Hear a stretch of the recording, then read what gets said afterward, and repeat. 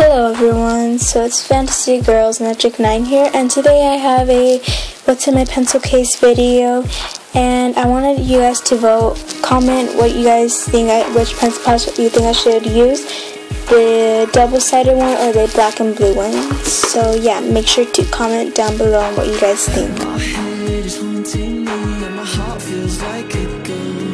Thing that I have is this simple Walmart Dollar Tree, I mean not Dollar Tree, sharpener. That's really cheap. The next thing that I also got is two highlighters, a simple mini pink one and a Sharpie yellow one. Then I have five wood pencils, two HB ones, one Dixon Ticonderoga, and two design ones, a flowered and a uh, mustache ones with hipster glasses and a hat. Then I have these four lead pencils, which are just Dollar Tree ones except the Papermate ones.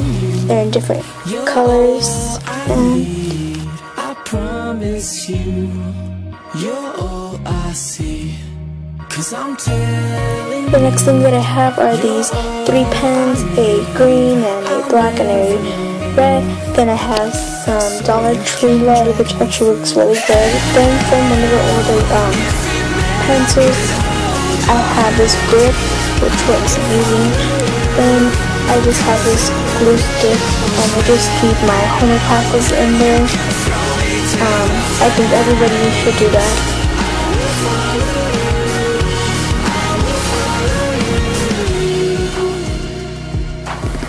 So that's all that I have in my pencil case. I hope you guys like this video. Make sure to comment what you guys think um, should be my pencil pouch. Um, please comment and like this video if you liked it and subscribe for more videos that will be coming up soon. So bye!